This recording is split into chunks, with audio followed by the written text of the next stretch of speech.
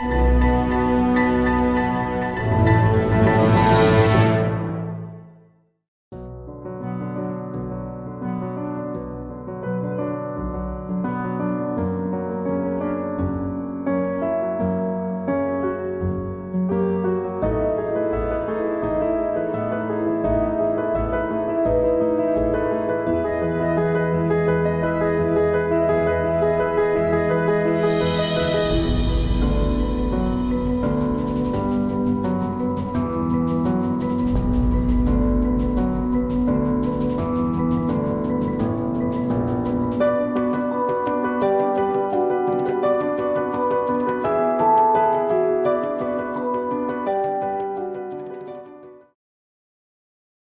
Eh, buenos días Facultad de Derecho, buenos días Universidad Nacional Autónoma de México, buenos días México, buenos días donde quiera que nos esté escuchando, buenas tardes dependiendo del paralelo en que nos estén viendo. Eh, hoy nos encontramos aquí en la Universidad de Yale para entrevistar a uno de los más importantes constitucionalistas norteamericanos, profesor de esta universidad, que es el profesor Owen Fis. Uh, welcome, Professor Owen Fis. Thank you for Thank you. uh, allow us to interview you. Thank you. Well, you are, you have been working a lot of issues in, in your uh, teaching career and your researching career, and maybe one of the biggest topics you have worked is free speech. I, I will start by getting from you a definition. What is free speech for you? Does free speech has limited or is unlimited? Has to be controlled or not? Well, I I see free speech as a constitutional protection uh, of democracy. Uh, that the purpose of protecting free speech uh, is to make sure we have a, a democratic system of governance. Uh, freedom of speech uh, is designed uh, to produce a debate on issues of national importance that is, in the terms of our Supreme Court, uh, robust, wide open, and uninhibited. And uh, uh, when we have this robust debate on issues of public importance, uh, I believe then we are achieving the purposes of freedom of speech. This freedom of speech, as I asked you before, has to be limited. I mean, people can uh, go as far as they want in going or reclaiming, claiming from a robust debate. Is has to be unlimited or is limited the, this right? Well, I do believe that freedom of speech necessarily implies some limits on it. I don't think there's any uh, any conception of freedom of speech that doesn't have a recognition of some limits. Um, but all those limits have to have to be examined to see whether they enhance public debate or restrict public debate. Uh, and that strikes me as the essential criterion of deciding whether limitation uh, is uh, acceptable. Sometimes the threat to freedom of speech comes from the state. Uh, the policeman uh, is arrests someone who is uh, making a speech criticizing the government. But one of the special themes of my work is that that threat to freedom of speech comes not just from the state, but also from private aggregations of power. In, in you have wrote a book lately named "The Irony of Free Speech." In this book, you you claim that there is a conflict of uh, between the first and the 14th guarantee uh, in the United States. How can we resolve this conflict of norms that you found out? Um, the first thing we should uh, remember is that the conflict that you're referring to is not just a conflict between the First Amendment and the 14th Amendment, between free speech and the protection of equality.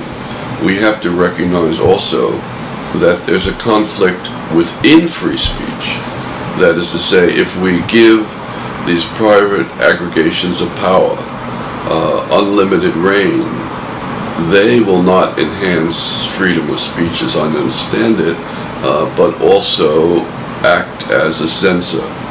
Uh, they will curb the freedom of speech in the sense that they will limit public debate. Uh, and so I don't have a clear, I, I, I don't have a clear formulator to decide which restrictions are legitimate and which ones are uh, uh, illegitimate. But I want to say that it's not just a conflict between the First Amendment and the 14th Amendment, not just between liberty and equality, but the conflict is, is within uh, the First Amendment, within the guarantee of freedom of speech. You wrote an essay, a very interesting essay named Adjudication, early, late in the late 1970s.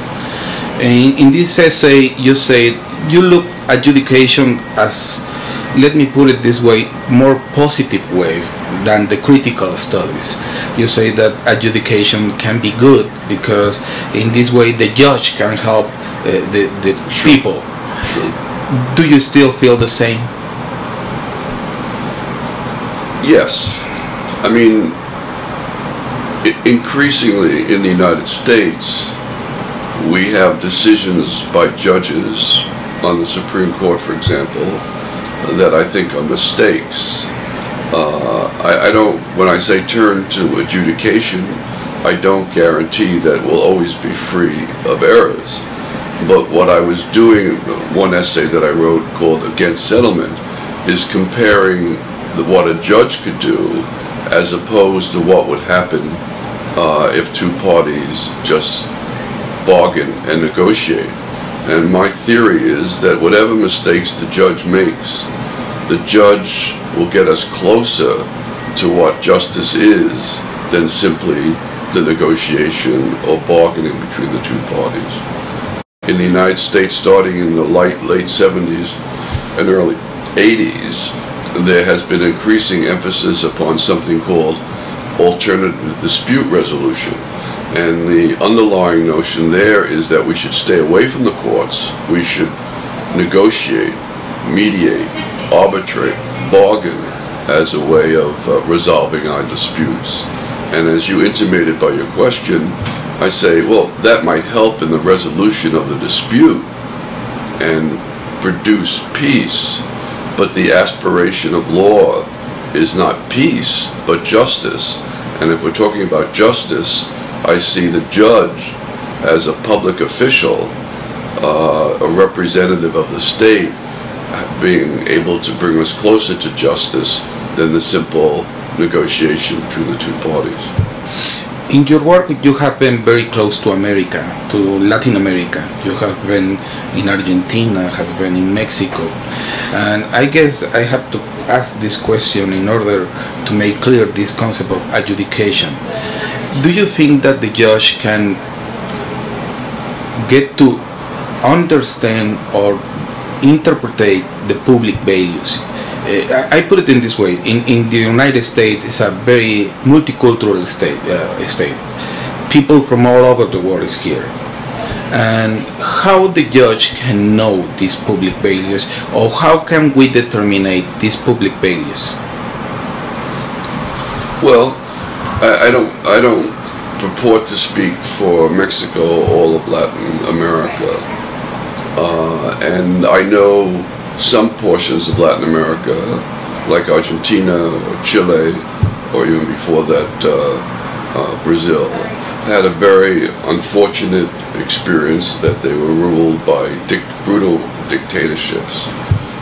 Um, but at this point in history, uh, those countries that I mentioned have returned to a kind of democratic regime, and perhaps not that different than Mexico is today.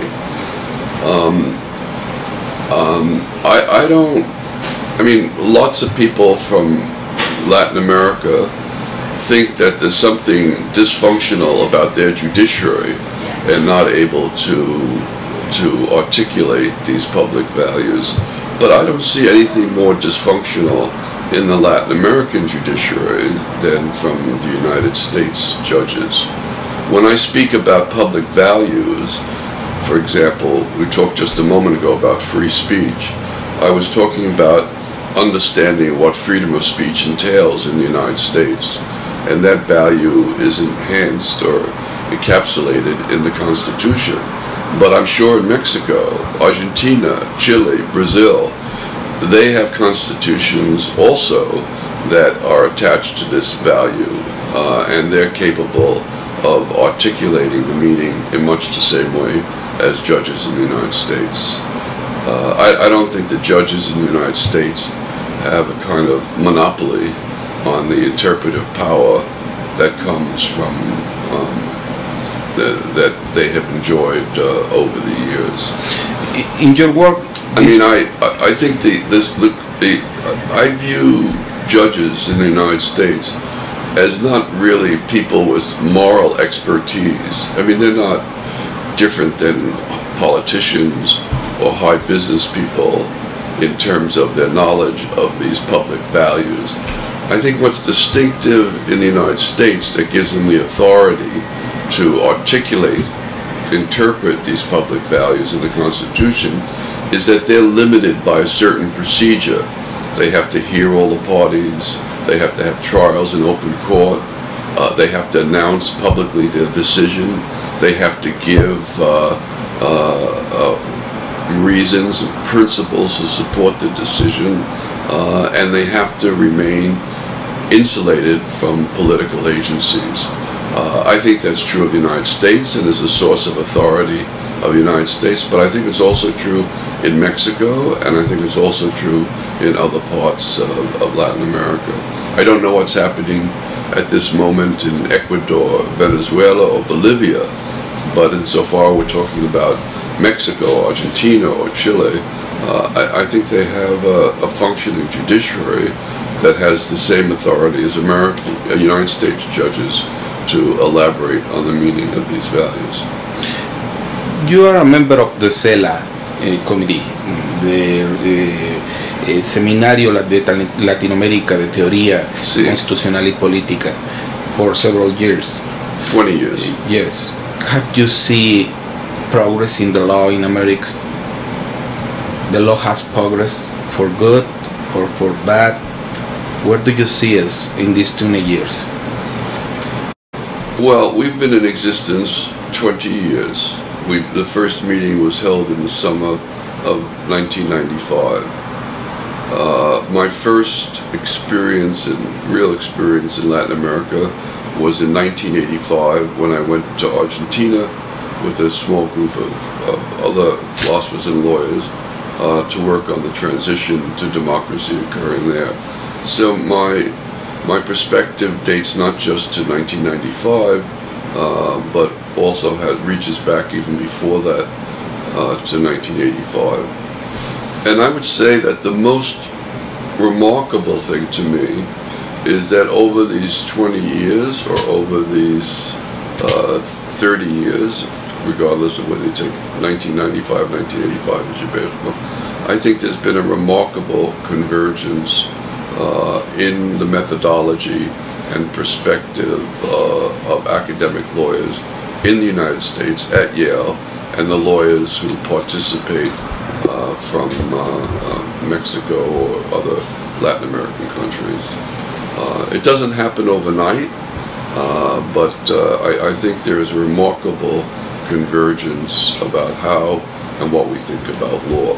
I would say the critical, the, the distinguishing factor uh, of, of American academic law is its critical perspective on the work of the judiciary.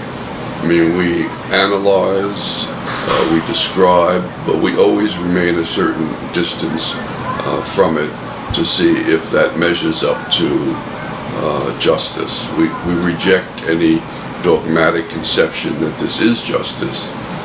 Uh, and I would say that that, um, that perspective uh, is uh, increasingly manifest in the work of, of SELA. Some of our people, like uh, Jose uh, Ramon Cossío was a member of SELA uh, when he was the dean of ITAM.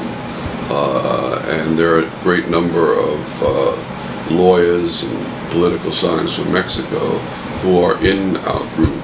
And uh, I, I do see a convergence, and not quite the same. You have different starting points. The fact that you're a civil law country, uh, the code induces a certain perspective on on law. Uh, but I I think it's getting closer uh, that, uh, over these last 20 or 30 years. I was reading a few weeks ago the latest book of Bruce Ackerman, We the People Number Three, Right. in which he talks about the civil rights in the 1960s, and I guess it's a for me it will be a very beautiful detail that he dedicate the book for you and I, I guess he's right in dedicating to you because you were a, a special actor during those times uh, how do you see the civil rights movements from the 60s to today in America, in the United States? Where do you have to go? Where do you have to move? What do, do, do you need to do to transform and go to a very most equal society? Because I remember you wrote a book, uh, A Way Out from the Ghettos, and you were worried about the people, the black colored people. So, what has been changing here in the United States and what's not is changing here? Well, that's a very good question and a very deep question, and uh, I'm a little unclear about the answer. Uh, in November 2008, uh, the United States elected a black man as President of the United States. This was a transcendent event in the history of the United States that began, as you know, with slavery based uh, on race. And my work in the 60s in the Civil Rights Division of the Department of Justice was very much concerned with uh, employment discrimination, school segregation, uh, discrimination in public accommodations, uh, and also with election discrimination so that blacks were not were completely disenfranchised in some of the uh, some of the states. Now, from that perspective, I couldn't have foreseen that in the year 2008 we would have a black man elected president of the United States, and I, I think I I think that's a remarkable achievement. Uh, I would say, speaking more generally, uh, over the last 40 or 50 years, uh, we have made tremendous progress in creating what I call a black middle class. So you, you look at, for example, the mayor of New York, who's white, but you look at his cabinet, it's, it's just incredible uh, to find people of color in that cabinet at the level. So I, I think I think it's a remarkable achievement uh, uh, what we've accomplished. On the other hand, as you uh, mentioned in this book, A Way Out, uh, I also think that what has happened is not a moment to stop. Uh, that at, although we have created a black middle class, uh, although we've had a president of the United States who is black, we still have what I call the black underclass that still exists and needs our attention. The black underclass consists of people who are black, uh, but also people who are unemployed or live at levels of economic deprivation that makes them still a pariah in American society. And I think, although I want to ce celebrate the progress, I still, as I do in this book, A Way Out, I'm still deeply concerned about the plight of those who've been left behind. Uh, and that is the class of, uh, of the black uh, underclass. This class seems to be growing. This, this class seems to be growing more entrenched. Uh, the inequalities uh, that are we characterize in America also as they get higher, the blacks unemployed, uh, neighborhoods, living in neighborhoods that are still uh, riddled with crime, uh, no manufacturing jobs for any of them. Uh, I, I think it's it's just getting worse. The other thing, I, I don't mean to go on indefinitely, but in the 60s, uh, in the early 60s, we were primarily, not exclusively, but primarily focusing on blacks and their exclusion from American society. They, they were the pariah underclass of our society, and we adopted a lot of strategies to improve their situation. Um, but today, uh, I think the cause of civil rights has many dimensions to it. It's not just concerned with the blacks. Uh, over the years, it's been concerned, growing, increasing concern with the plight of women, uh, with the, and it's following that, the plight of the uh, LGBT community, gay and lesbian, bisexual and transgender, transgender movement, uh, and we've been concerned with those rights. Uh, at the same time, we're concerned, increasing concern, with the Hispanic community in the United States. I don't think any of these groups had the disabilities that blacks had uh, in the 60s, but they have plenty of disabilities, and that civil rights today uh, is understood uh, as embracing their interest as well as the black. And at this very moment, uh, I think Americans are becoming increasingly concerned, as they were in the mid 60s, with the the poor. Uh, this book pub published by uh, Thomas Piketty, uh, these demonstrations by Occupy Wall Street uh, are calling attention to the growth of tremendous inequalities, economic inequalities in America, which need our attention. So the answer to your question is that I think we've made tremendous progress uh, on the issue of blacks, uh, but a lot has to be done on the issue of the black underclass. And on top of that, I think we need to pay attention to the needs uh, of these other groups, the poor, uh, ethnic minorities, uh, gay lesbian community, uh, and the situation of women.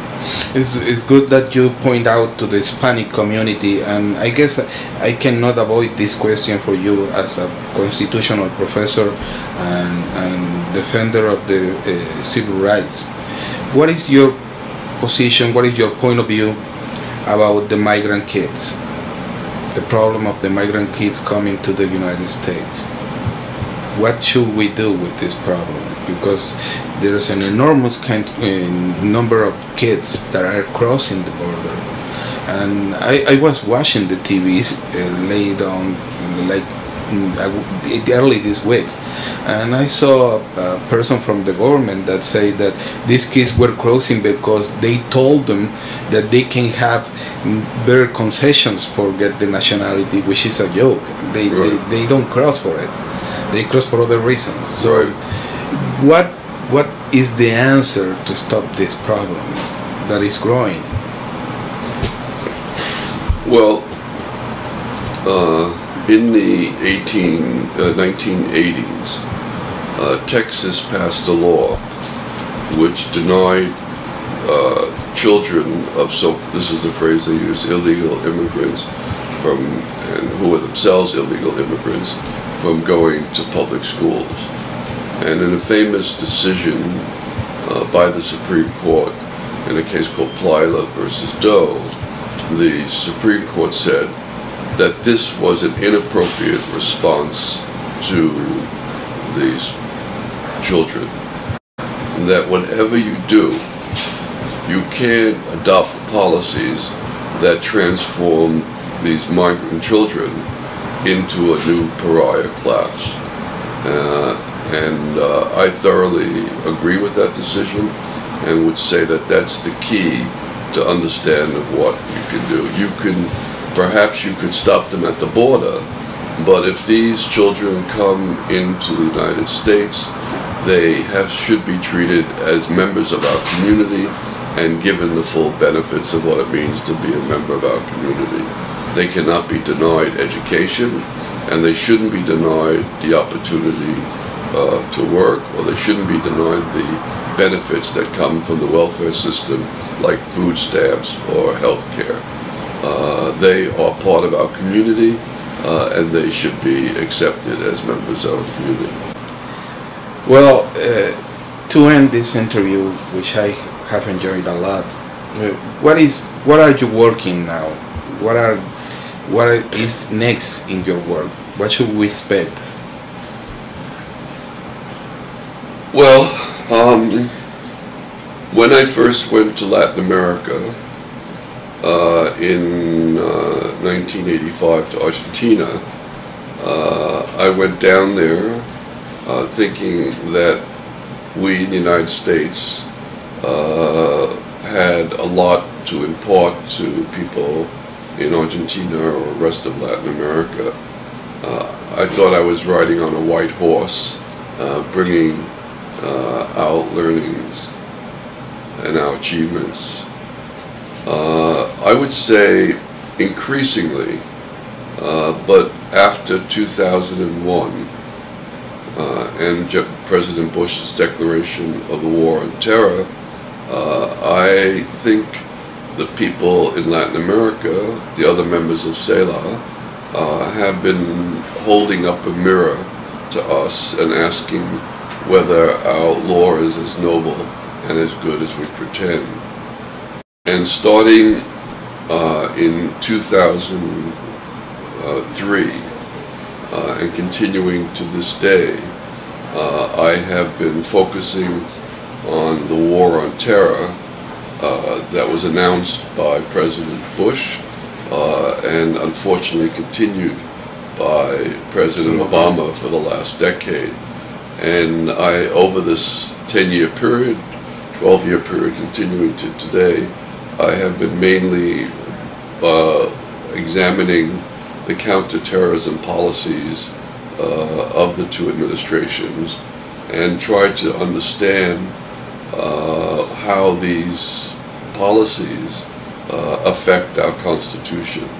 Uh, and I've been sort of publishing articles and books uh, that have been very critical of the, the, the critical of these policies, not from an international law point, but from our own Constitution, that there's transgressions of certain uh, principles that are sacred to our Constitution that have been trampled uh, over the last decade. Uh, we've, you know, imprisoned people without offering them an opportunity for trial. Uh, we have used military commissions to try some of them. Uh, we have uh, um, denied some uh, habeas corpus. Uh, we have engaged in warrantless wiretapping, and most recently, during, particularly during Obama's administration, with other traces before, we have engaged in targeted killing of suspected terrorists. And all of these policies uh, may be justified in terms of pragmatic necessity, but I think they betray certain fundamental constitutional principles of the United States. And that's what I have been working on for the last decade. By using this answer, uh, many constitutional theories nowadays in America, in the United States, say that the presidential figure, the institution of the presidency, has too many powers. They have to control it do you feel the same? um, I think a lot of people uh, feel that way. And a lot of people criticize the Bush administration on uh, what's called unilateralism, acting on his own without the concurrence of Congress or the court. But my feeling is I don't know uh, um, I, I don't know how profound a criticism that is, uh, because what, what's remarkable is that Congress has acquiesced in at least the counterterrorism, acquiesced in the policies uh, of the Bush administration and in the Obama administration. Uh, Congress has been very tough on President Obama, uh, particularly in areas like uh, uh, health care, uh, tax policy, job creation. Uh, but in the area that I know best, namely um, the counterterrorism, Congress has been very uh, uh, agreeable and acquiescing in this thing. And I feel also that the Supreme Court has been deferring to the President as well. And although there are some decisions that the Supreme Court has made that curb the power of the President, uh, these are exceptions and very limited uh, uh, exercises by the courts. So maybe the President has increased his power, but always with the approval of Congress and the willingness of the Supreme Court to close its eyes to what's happening before it. I must say that I, I first read your your work because Professor Gargarella. Oh. Uh, he used to talk and write a lot about you, and mo- so much writing about you made me read your work. And as I told you when I uh, knew you, that most of your, work uh, you have work in Spanish, but it's hard to find out. Still, you can try the persons in Mexico City and in America to find about the books you have wrote in Spanish. I don't know if you can tell them about those books so they can find it. Well, um, uh, one book uh, that I've written uh, is on my theories of free speech, uh, which has been published in Spanish. One is The Irony of Free Speech, another one is Free Speech and Social Structure, uh, and uh, a third one is called Democracy and Dissent, which was edited by Professor Gargarella. Uh, all of these are in Spanish. Uh, my work on the one subject that we talked about, uh, namely adjudication and procedure, uh, has been published in Spanish. A publisher in Spain uh, published it, uh, and it's called the um, the law as public reason. Uh, and that was published in Spain and should be available.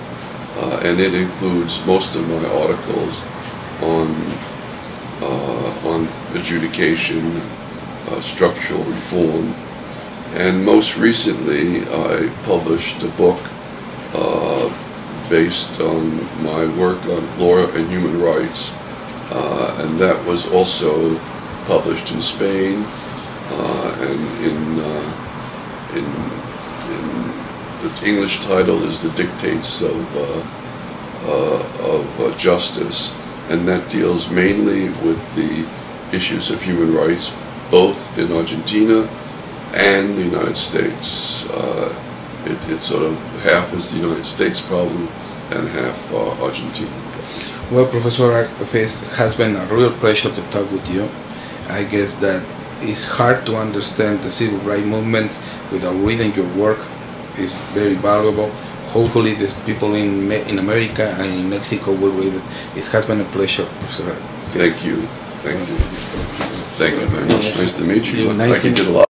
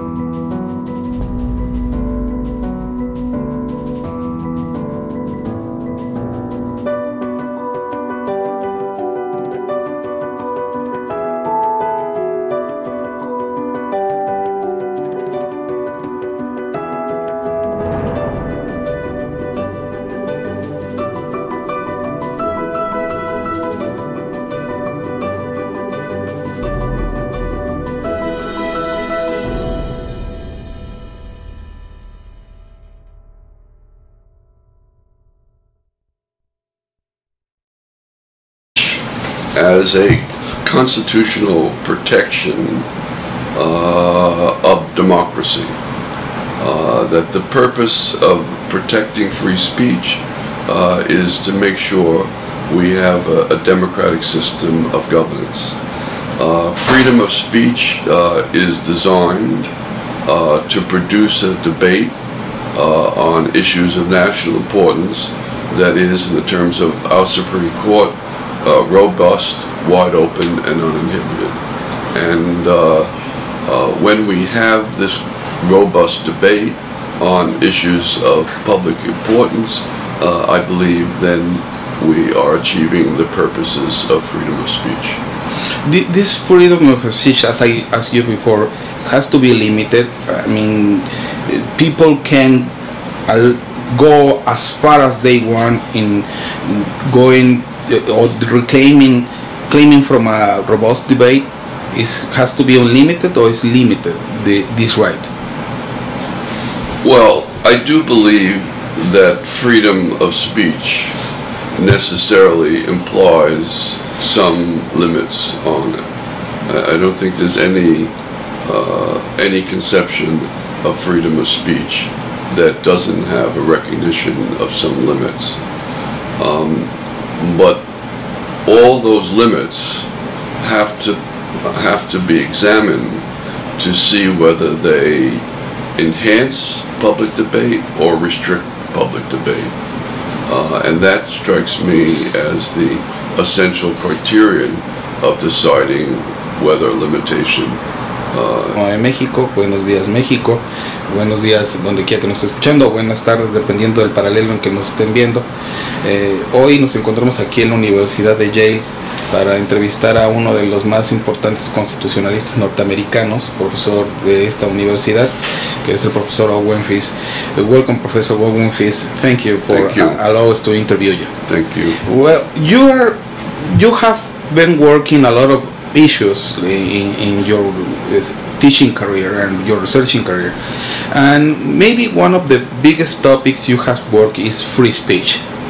Uh, I, I will start by getting from you a definition. What is free speech for you? Does free speech has limited or is unlimited? Has to be controlled or not? Well, I I see free speech